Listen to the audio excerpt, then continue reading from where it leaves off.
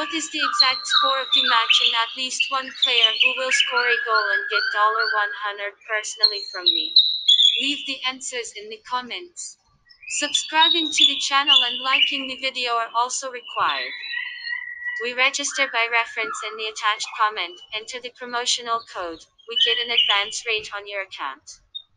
Stadio Renato Dal will host Saturday's football game between Bologna and Milan. The Rossoblu aim to make amends for a 2-0 loss to Juventus, but they face yet another uphill task against the Rossoneri. Even though Sinisa Mihajlovic's troops defeated Verona in their last home game, we are not tempted to put our money on the relegation threatened team.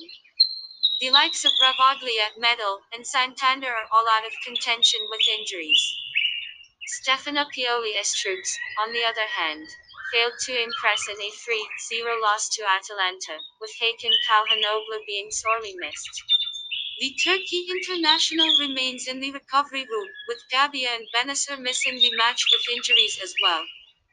Stefano Pioli has a number of high-profile footballers to choose from, and we predict that the league leaders are going to return to winning ways in the Italian top flight on Saturday.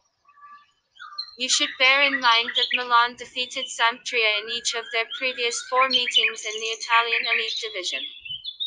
This match will be played on 30 slash 01 slash 2021 at 17 o'clock. Prediction 1.